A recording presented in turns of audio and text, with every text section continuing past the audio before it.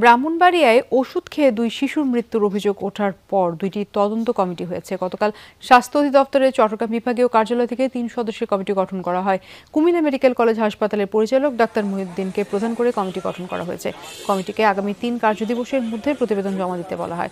এছাড়া জেলা civil surgeon কার্যালয় থেকে আরেকটি কমিটি করা হয়েছে। শিশুদের মা লিমা বেগম জানান, দুই ছেলে মোরসালিন ও ইয়াসিনের জ্বর ছিল। বাড়ির পাশের ফার্মেসি থেকে প্যারাসিটামল গোত্রের নাপা সিরাপ এনে তাদের খাওয়ানো হয়। ওষুধ খাওয়ানোর পর থেকেই ইয়াসিন ও মোরসালিন বমি করতে থাকে। হাসপাতালে নেওয়া হলে মারা যায় দুই ছেলে। আশুগঞ্জের এই ঘটনার পর পুরো জেলায় নাপা সিরাপ বিক্রি বন্ধ রেখেছে কেমিস্ট অ্যান্ড ড্রাগিস্ট সমিতি। আমরা এখন যে মানে একটা অস্থায়ী নিষেধাজ্ঞা দিয়েছি ওষুধ মার্কেটে যে এই নাপা খেয়ে যেহেতু একটা নিউমার উঠেছে যে এই নাপা খেয়েই দুইজন শিশুর মৃত্যু হয়েছে, উদ্ঘাটন হইলে যদি আমরা জানি যে না, সিরাপগুলো নিরাপদ, সেক্ষেত্রে আমরা আবার মার্কেটে আমরা আবার জানিয়ে দেবো যে ওষুধটা বিক্রি করা যাবে।